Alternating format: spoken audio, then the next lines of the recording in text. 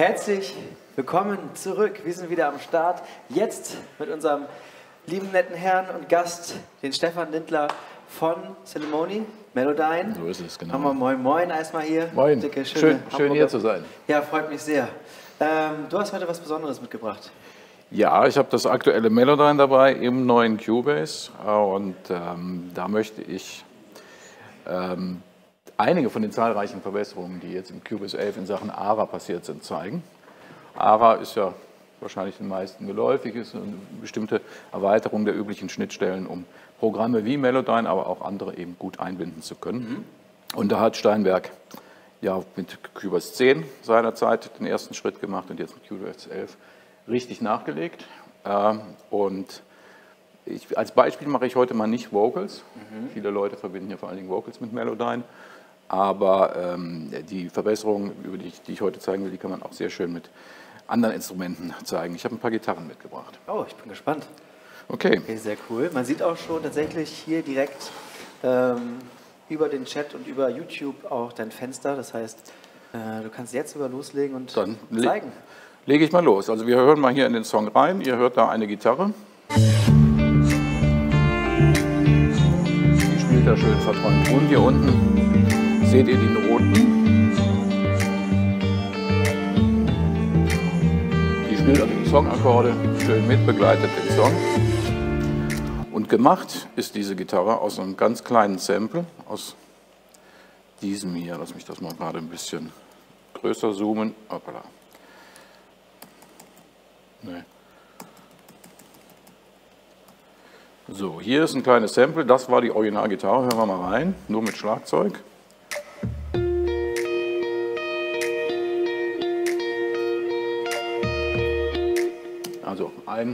Akkord über zwei Takte gespielt. Und ich möchte jetzt mal zeigen, wie man da sehr schnell mit Cubase 11 den ganzen Song mit dieser Gitarre bestreiten kann. Ich bin gespannt. Das fängt schon damit an, ähm, das haben wir gerade gehört, als ich es laufen gelassen habe, zum Schlagzeug passt vom Tempo nicht. Da gibt es ja in ähm, Cubase den Musical Mode für. Ja, jetzt ist mein Bildschirm hier gerade, mir fehlt da die entsprechende Zeile, er ist so klein. Kein Problem. Wo ist das? Eine Infozeile, Status Info, wo ist es denn? Darf ich dir nebenbei ein paar Fragen stellen? Ja, die im Chat hier gerne. Äh, der Quellenbeats fragt nämlich, ob du was zu den unterschiedlichen ähm, Versionen von Melodyne sagen kannst, also wie man sich die holen kann. Ja, Oder, also es gibt vier verschiedene Versionen und was ich hier äh, heute mit habe, ist die äh, Studioversion, das ist die größte Version. Was ich zeige, könnte ich aber genauso mit der zweitgrößten, mit dem Melodyne Editor machen, weil diese beiden Versionen, das sind die Versionen, die auch polyphone Audiobearbeitung machen können. Was wir eben schon gesehen haben bei der Gitarre, ihr habt ja gesehen, da klingen mehrere Noten gleichzeitig Ja. und die kann ich eben einzeln auch jetzt bearbeiten und mit den beiden kleineren Versionen Essential und Assistant, da ähm, kann ich sozusagen nur ähm, das ganze Signal sehen. Also wenn ich einen Akkord, Ak- äh, Gitarrenakkord da sehe, dann kann ich sagen, okay, den Akkord, den kann ich im Timing bearbeiten, aber ich kann nicht aus dem, sagen wir mal, A-Dur-Akkord A-Moll machen oder sowas. Und ähm, man kann einsteigen, mit welcher Version auch immer, man kann später Upgrades machen. Das, die Upgrade-Preise richten sich quasi an den Neupreisen, also man zahlt dann nur die Differenz. Und ich sage mal so, wenn ihr jetzt vor allen Dingen Vocals machen wollt, dann braucht ihr also maximal die zweitkleinste Version, Melodyne Assistant, weil das ist das professionellste, was du mit Vocals machen kannst. Und wenn du sagst, ja, ich mache auch viel mit Samples, eben auch Gitarren oder sowas, dann wäre dann Melodyne Editor vielleicht die beste Wahl. Ah, okay. Und wenn du alles machst oder auf alles vorbereitet sein willst, dann ist Melodyne Studio. Also so ist die äh, Verteilung da. Ähm, so, also, ich versuche das jetzt mal kurz zu machen, dass ihr nur einen Eindruck kriegt. Es gibt dazu auch mit diesem Songmaterial hier gibt es auch Videos auf unserer Seite, dann könnt ihr das nochmal im en Detail gucken. Ähm, aber was eben jetzt neu ist, dass der Musical Mode, den kennt ihr schon aus äh, Cubase. Der kann ja, äh, der ist ja klasse, um mal direkt ein Sample ins richtige Timing zu bringen. Ne? Ein Knopfdruck schon spielt es richtig. Und jetzt kann ich eben auch, das ist neu in Cubase 11, Melodyne drauf machen. Das ist dank ARA auch äh, ruckzuck. Das war schon immer so in Cubase oder seit Version 10 schon so. Was aber neu ist, es war leider so in Cubase 10, dass sich der Musical Mode und das Melodyne noch ausgeschlossen haben gegenseitig. Das hatte ähm, Steinberg sozusagen in Version 10 noch nicht miteinander verknüpft. Jetzt haben sie es gemacht. Und deshalb kann ich also jetzt das ähm, Sample mit dem Musical Mode time stretchen und dann mit Melodyne weiter bearbeiten. Es ist sogar so, dass die ähm, das Time-Stretching dann mit den Melodyne-Algorithmen erfolgt, was besonders gut klingen oder klingen sollte. Hören wir mal rein, weil in dem Beispiel, was ich hier mitgebracht habe, ähm, ganz wichtig, achtet mal drauf, es klingt nämlich auf den ersten Blick vielleicht doch gar nicht so gut.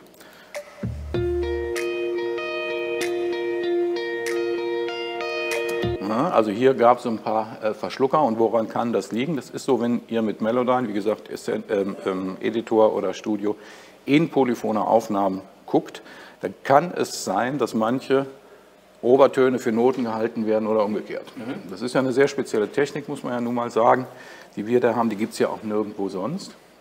Und ähm, wir haben in den entsprechenden Melodyne-Editionen, Editor und Studio, dann hier diesen Knopf, ich weiß nicht, ob man es sieht, wie so ein Werkzeugschlüssel, da geht es dann in einen Modus, wo ich die Darstellung optimieren kann. Und hier stelle ich jetzt fest bei dieser Gitarre, wenn ich die mal alleine anhöre, das ist jetzt das Originaltempo, da hört ihr, dass da ein hoher Ton hier irgendwie nicht auf dem Schirm ist. Ja. Das heißt, da hat Melodyne wohl fälschlicherweise gedacht, das war gar keine Note, die gespielt wurde, sondern ein Oberton. Und das ist in der Folge dann blöd, weil ich dann nicht so was frei gestalten kann. Das muss man wissen. Wenn ich also ähm, mit Samples arbeite, empfiehlt es sich hier in diesen Note Assignment Modus zu gehen, dieses, dieses Werkzeug hier, das Aktivierungswerkzeug auszuwählen und gegebenenfalls diesen Slider hier mal ein bisschen nach rechts zu drehen. Und dann seht ihr hier schon so Schatten und Silhouetten. Diese Silhouette hier zum Beispiel, da sagt Melodyne mir quasi mit diesem Bild, da habe ich was gefunden, aber ich glaube, das ist ein Oberton. Hören wir noch mal rein. Also ich höre, da wird tatsächlich Note gespielt, also überstimme ich Melodyne jetzt, mhm. klick das einfach hin. Und da gibt es hier links auch noch, das führe ich jetzt nicht im Detail aus, noch viele weitere Hilfestellungen. Also damit kann man das Signal sehr gut optimieren. Und das ist bei diesem Beispiel, jetzt dieses Samples hier, ähm, tatsächlich sozusagen mal die unglückliche Situation, dass ich da rein muss. Und deshalb haben wir diesen Modus eingebaut, weil wenn ihr mit Samples arbeitet, je komplexer das Material ist, umso eher ist auch mal die Wahrscheinlichkeit, dass man da was optimieren will. Und das lohnt sich. Also ich habe, wenn ich nicht so viel gequatscht hätte, hätte ich jetzt hier mit in zehn Sekunden das Problem gefixt. Dann kann ich zurückgehen in den normalen Editiermodus. Jetzt ist die Note da und ich kann die eben frei verschieben, unabhängig von den anderen Noten. Und ähm, was ich jetzt machen will als nächstes, ich will aus dieser Gitarre ja den Song bauen, also verlängere ich die mal, ich mache äh, Kopien draus. Und ihr seht, dank ARA unten taucht es sofort aus. Wir, wir können ja mal ein bisschen reinhören.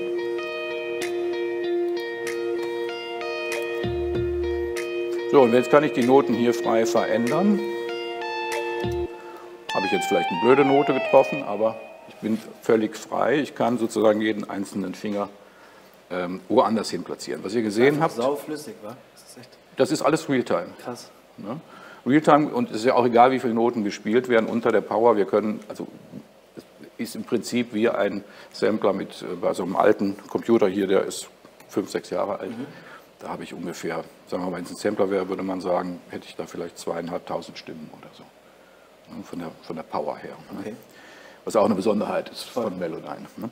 Ähm, so, ähm, ihr habt gerade gesehen, ich habe eine Note verschoben und die verschiebt sich da zwei Takte vorher mit. Mhm weil das eben hier dupliziert ist, eine sogenannte Ghost-Kopie.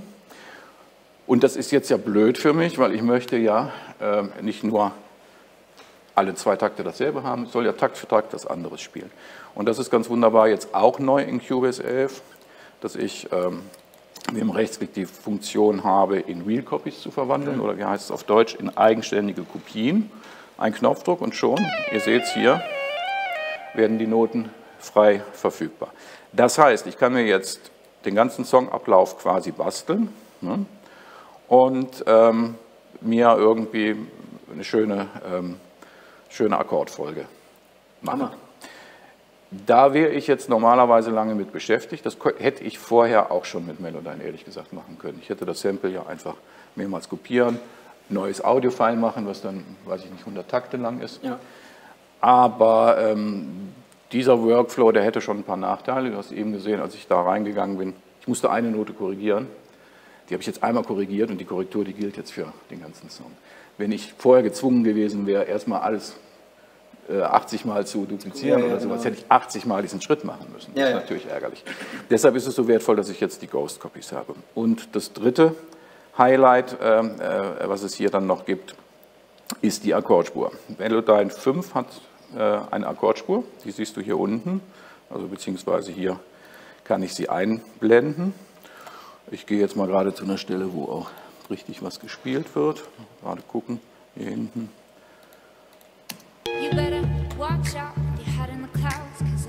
Ähm, achso, da habe ich es noch nicht hinkopiert. Warte mal, ich mache es nochmal gerade neu. So, kopiere mir das da einmal hin. Mache, wie gesagt, eine äh, Rechtsklick, ist das eine Real Copy draus. Ähm, ne, Z. Ich, bin ich jetzt auf der falschen Spur gelandet, oder was? Alles gut. So, da sind wir wieder. Ähm, ich leider ein bisschen klein hier mein Schirm. Ich brauche jetzt ein bisschen Platz. Ich kann dann im Melodyne ja auch beliebig zoomen. Hören wir doch mal nur hier die Stelle kurz an. Leicht versetzt, oder? Ja, erstmal zeitversetzt. Ich muss den Musical Mode einmachen, äh, anmachen. Also das habe ich jetzt in der falschen Reihenfolge gemacht. Melodyne aus, Musical Mode an. Wo ist er denn? Ich glaube, wir sind auch taktmäßig ein bisschen verschoben, wenn ich das hier richtig erkenne. Ja, ne?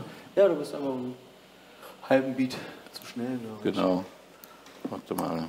Ich bin nicht so fit in Cubase mit den, Ja, mit ist den Key Commands, ne? Äh, was ist denn hier los? Ja, aber hoch, hoch, hoch, glaube ich. Ja, warte mal.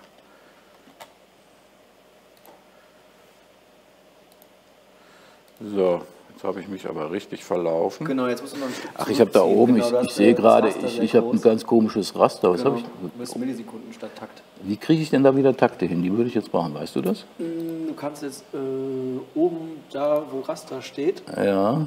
einmal den Tab öffnen. Und dann brauche ich. Nee, nee, nee, nochmal daneben. Wir haben ja den Cinchi als Cubase Pro hier. Wie stellt man von Millisekunden auf Takt äh, fürs Raster?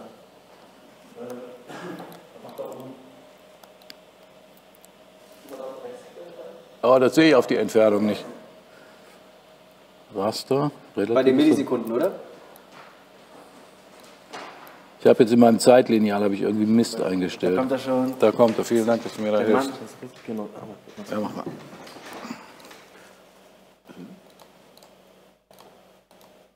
kann ich doch nicht rechts draufklicken. Dann eigentlich müsste mir Quantisierung ausspucken. Ja, ne? Ich jetzt auch gedacht. Da war's. Danke dir, super. Ich sehe schon die, die Kommentare jetzt hier, Nee, ne, was, der, was der Melo, dein Onkel, da mit dem Cubase veranstaltet. Nein. So, also. Ich schiebe mir das jetzt mal irgendwie. Warte mal. Ich hole mir das nochmal her, kopiere mir das jetzt im Taktraster, dann gehe ich immer an die Stelle. So. Musical Mode ist drauf, oder? Wo habe ich ihn? Ja. Melodyne ist drauf. So. Jetzt geht es mir erstmal darum zu sagen, ich, ich suche mir äh, eine gescheite Lage für dieses Sample. Das, was wir mit, normalerweise mit dem Sampler auch hätten machen können, einfach hoch und runter transponieren. Das geht mit Melodyne natürlich aus. Auch. Ähm, ich gucke einfach mal, während das Playback läuft, wo es schon mal gut klingt.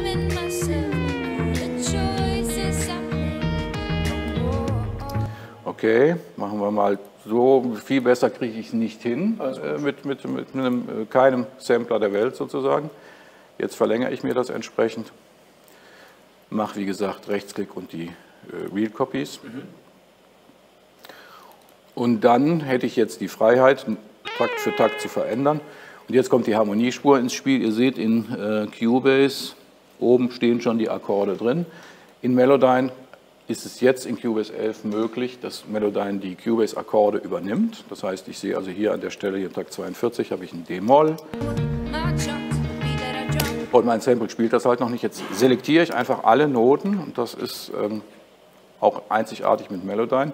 Ich gehe auf sogenannte Chord Raster und wie gesagt, das sind jetzt die Cubase-Akkorde. Mache einen Doppelklick oder einen Alt-Doppelklick, je nachdem, ob ich die Stimmung behalten will oder ob ich gleich auch die, die kleinen Unsauberheiten im Tuning vielleicht verbessern will. Also mit ein bisschen Vorbereitung ähm, einen Klick anschließen und jetzt spielt diese Gitarre einfach mit. Und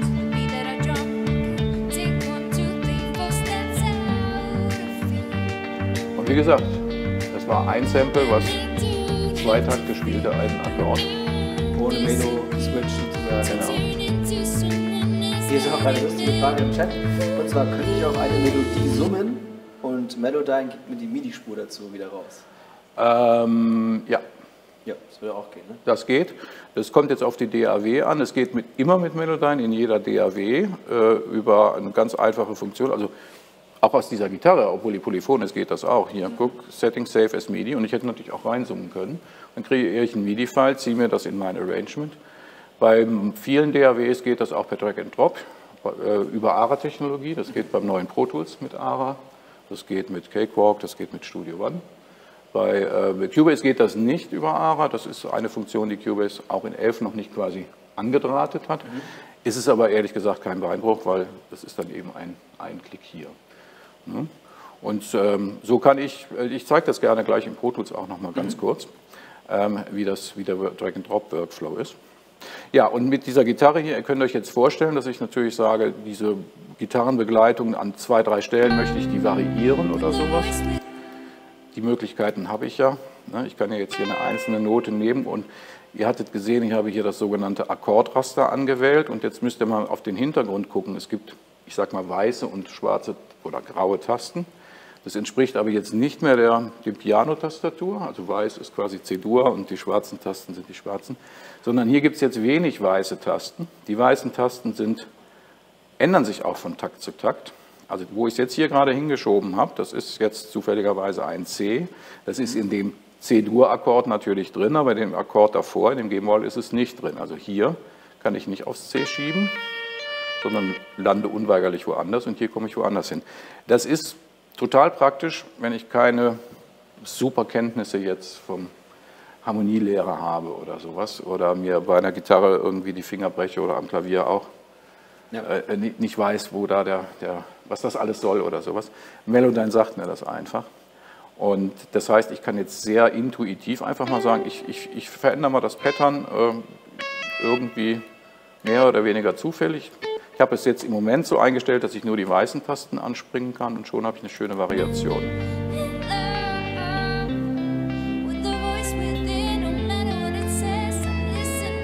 Na gut, das gefällt mir jetzt musikalisch nicht so gut, das würde ich vielleicht eher so machen. Also ich denke, ihr, ihr versteht das Prinzip. Ich kann mit dieser Hilfestellung dieses Notenhintergrunds in dem Sample sehr schnell alles Mögliche machen. Und auch das geht besonders gut in Cubase 11, weil ich eben diese Verzahnung von, der, von den beiden Akkordspuren habe. Also ich fasse nochmal kurz zusammen, was da jetzt wirklich neu ist, diese ähm, äh, Real Copies, ganz wichtig, wenn ich mit kurzen Samples arbeite, sonst muss ich das kompliziert workarounden. Es funktioniert jetzt mit dem Musical Mode, auch ganz wichtig, weil wann hast du schon mal ein Sample, was zufällig zu deinem Tempo passt. Und diese totale Freiheit mit Akkorden umzugehen, ist auch super easy jetzt, besonders hilfreich für Leute, die vielleicht jetzt nicht die Musiktheorie so ganz gefressen haben oder lange nachdenken Das ist auf wollen. jeden Fall ein mega spannendes Tool. Das ist echt Hammer. Das ist jetzt auch alles direkt in Cubase integriert. Mhm. Richtig. Und äh, auch die Edit-Funktion, die verschiedenen Shortcuts, sind die dann auch Cubase entsprechend angepasst? Oder wenn man Kann man, kann man machen. Also ähm, ich kann euch das kurz zeigen. Es gibt in den, ähm, in den Key Commands oder wir nennen das Shortcuts, gibt es hier eine lange Liste. Ich kann mir hier alles Mögliche selber ähm, äh, konfigurieren. Hier sehen wir uns zum Beispiel mal die Zoom-Kommandos an. Da habe ich jetzt meine eigenen Kommandos hier mir gemacht. Aber ich kann hier über dieses Zahnrad dann auch sagen, nee, dann lad mir doch mal entweder die Pro Tools Sets oder eben die Cubase Sets. Und dann seht ihr schon, ein Knopfdruck. Und jetzt habe ich eben hier äh, für, für Zoom habe ich jetzt die entsprechenden Kommandos, die ich ähm, von Cubase gewohnt bin. Es sei denn, ich habe sie mir in Cubase anders definiert, aber das kann ich hier ja auch immer machen. Das kann ich dann übrigens abspeichern, mein eigenes Set und auf dem USB-Stick mitnehmen. Oder? Was ja bedeutet, man kann ja Melodyne dann auch wirklich intuitiv, wenn man sich den Standard Cubase äh, Workflow angeeignet hat, dann auch so direkt Ja, es gibt natürlich viele Werkzeuge, die jetzt Melodyne hat, die Cubase äh, gar nicht hat. Ja, ja. Ne? Und da ist, haben wir uns natürlich auch was überlegt, was da äh, richtige Workflows für sind. Aber wenn du jetzt ganz neu bist mit Melodyne, dann musst du nicht, was die Shortcuts angeht, erstmal äh, alles neu lernen. Ja. Ne? Und das haben wir für die, für die wichtigsten DAWs haben wir das gemacht. Ah, der Chat schreibt heißer Scheiß. ja. Genau, hier ist auch noch die Frage, kann ich die Noten aus Melodyne auf eine andere Spur kopieren und daraus Ja. zum Beispiel dann Äh, ja doch, das ist die richtige Frage. Ja, selbstverständlich kann ich alles machen. Also es ist so, wenn ich jetzt hier zum Beispiel, ich kann ja mal ein kurzes Beispiel geben von den, von den Vocals hier. Wo geht es denn hier in meine Bridge? Ich glaube, hier ist so eine Stelle, da macht sie so eine schöne Adlib. Das ist die Stelle hier, können wir ja mal gerade hin, hinzoomen. Ähm, so, ne? macht sie nur so einen Schlenker, nicht wirklich Text. das ist ja ein schöner Part, den nehme ich jetzt einfach mal und kopiere mir den irgendwo anders hin, hier vielleicht. Mhm. Äh, mache dann auch wieder, weil ich mir jetzt ja irgendwie was Neues draus bauen will, mache ich das wieder als eigenständige ähm, Kopie, gehe dann da vorne hin. Bin ich gerade zu weit gesprungen, da ist es jetzt. Da vorne brauche ich den ganzen Quatsch, brauche ich jetzt nicht, mache ich einfach weg, dass mir also nur noch mein Melodieschlenkerchen bleibt. Na komm schon. Zu viel gelöscht. Oder? Warte mal. Nee, falsch gezoomt, gescrollt. So, jetzt ist nur noch die Melodie übrig. Die kann ich jetzt auf eine andere Spur äh, kopieren mit einem ganz anderen äh, Processing oder ich kann die jetzt total verwursten. Ich habe das, was ihr hier hört. Also das ist die Stelle weiter hinten am Anfang, das war so bei Takt 6 oder so. Da hört ihr, ich muss das mal gerade ein bisschen lauter machen, da hört ihr schon so ein Pattern, was ich da gemacht habe. Diese Vocal die ich jetzt mal ein bisschen äh, lauter mache, dieses Hu Hu Hu. Das ist ihre Stimme. Ah. Das habe ich aus ihrer Stimme gebaut. Ich habe einfach einen Schläger genommen, mit ein bisschen Copy und Paste, Noten verlängert, geschnitten. In dem Fall, dass es jetzt so, äh, sagen wir mal, männlich klingt, das sind die Formanten, das ist ja alles in Melodyne äh, immer möglich, egal für welches Instrument. Das unterscheidet Melodyne dann auch, wenn es jetzt um Vocals geht, von ähm, sagen wir mal, den meisten anderen Programmen. Also wenn es nur ums Tuning geht, dann sieht es sehr, sehr ähnlich aus wie Vari Audio, aber Melodyne macht eben auch alles mit Timing, was äh, mit äh, Cubase intern dann zum Beispiel auch natürlich geht, aber in einem ganz anderen Programmbereich. Und hier ist es sozusagen alles eins, Formantbearbeitung, Obertonstruktur und so weiter und so fort. Ne? Also da kann man sehr kreativ werden, um von, also richtig zu puzzeln. Mhm. Ich glaube, die Frage war noch zusätzlich ein bisschen so gemeint, ob man sozusagen, wenn man den Edit für eine Spur gemacht hat, ja, wie zum Beispiel vom Refrain und hat man jetzt zweimal gedoppelt, dass man sozusagen die Editierung, die man da genutzt mhm. hat, wie das Timing, wie Tonhöhen sind, ob man da einfach mit einem Klick sozusagen äh, die Bearbeitung auch übertragen kann auf die zweiten Backings. Nein, das kannst du so, so nicht, aber ich zeige dir mal, was du machen kannst.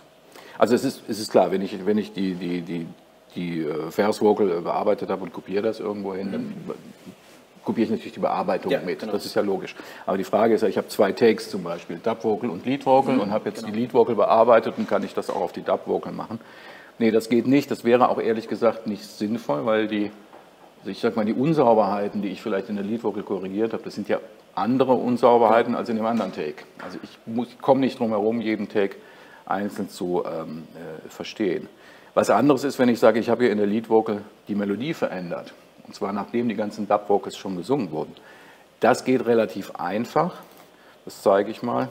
Ähm, muss ich erst ein Melodyne drauf machen, hier auf die auf alle Lead Vocals, alle fünf Takes, das ist ein Comping Take. Das Comping ist auch super in, äh, integriert, das Melodyne Comping in Cubase. Das reicht uns jetzt die Zeit nicht, aber ich mache es jetzt mal auf die, also auf die fünf oder wie viele Takes ich hier im Comping habe.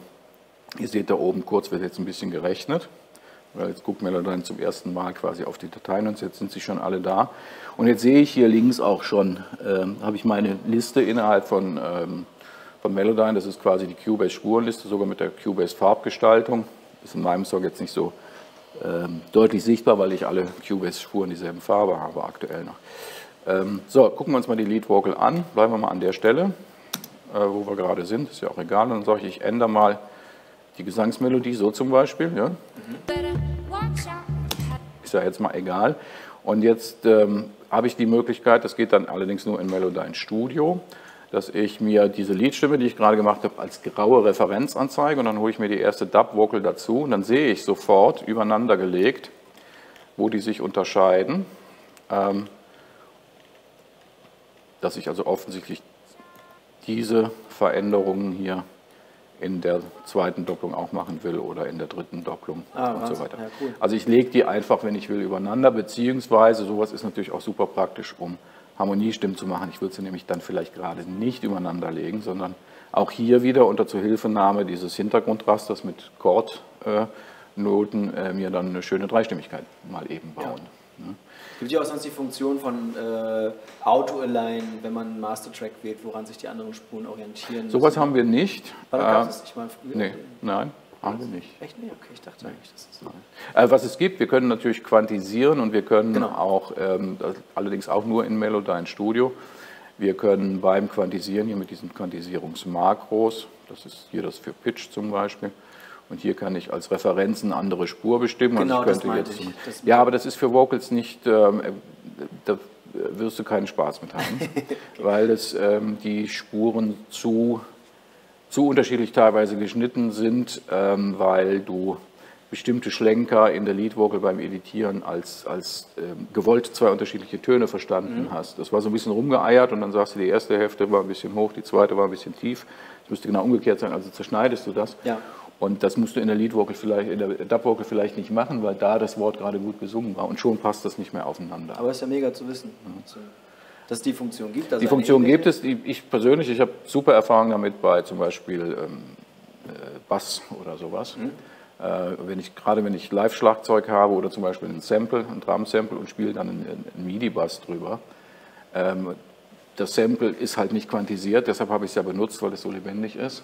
Mein MIDI-Bass, den kann ich quantisieren, hat mit dem Sample nichts zu tun. Dann mache ich teilweise, nehme ich das dann einfach als Audio ins Melodyne, um dann genau den Bass genau auf die, auf die Kickdrum äh, zu rücken oder so. Dafür ist es super, aber ausgerechnet bei Gesang ist es oft, ähm, äh, rutschen die Noten dann in die falsche Richtung. Was nicht ganz dramatisch ist, weil du kannst ja jede Note auch anfassen. Also wenn diese Note jetzt hier dahin gerutscht wäre, dann sehe ich das ja und dann kann ich sie ja auch dahin schieben oder sowas. ne? Ja. Aber so eine volle Automatik ist es nicht. Okay. Wir sind in den letzten zwei Minuten angekommen. Mhm. Äh, ich würde sagen, wir haben jetzt noch nicht alle Fragen durchgehen können. Kann man trotzdem irgendwie dich noch erreichen oder im Nachhinein irgendwie noch Fragen stellen? Oder habt ihr vielleicht einen YouTube-Channel, wo es Tutorials gibt? Ja, also wir haben jede Menge äh, Tutorials in unserem YouTube-Channel und auf unserer Webseite. Da haben wir speziell zu Melodyne 5 haben wir über, über also das aktuelle Melodyne über zwei Stunden Material. Zu Cubase 11 haben wir einen sehr schönen Film gemacht, der das, was ich hier heute mal kurz angerissen habe, zeigt. Zum neuen Pro Tools auch und so weiter und so fort. Also das, ich habe dir at ceremony.com, das sind meine geschätzten Kollegen, die ähm, euch auch jede Frage beantworten können. Support at ceremony.com Mega. auf Deutsch oder Englisch, wie es für euch am einfachsten ist. Und da freuen wir uns um jedes Feedback. Cool. Ich sage schon mal vielen lieben Dank. Ich glaube, es ist soweit, dass wir jetzt rüber switchen. Gut. Und zwar ähm, schalten wir jetzt, glaube ich, direkt live nach Berlin zu Clemens Matznick und äh, den Herrn Reinemer von den Jazzanova Recordings. Und äh, genau, ich bin sehr gespannt. Ähm, wie gesagt, nochmal vielen lieben Dank. Äh, Zeremonie, Webseite, YouTube-Channel, gibt es alles. Du bist wahrscheinlich auch noch ein bisschen dabei, guckst dir das Ganze noch hier an. Gerne. Ne, und ähm, ja, auf jeden Fall nochmal danke an Sinchi, dass du nochmal geholfen hast. Und wir gehen jetzt direkt live nach Berlin.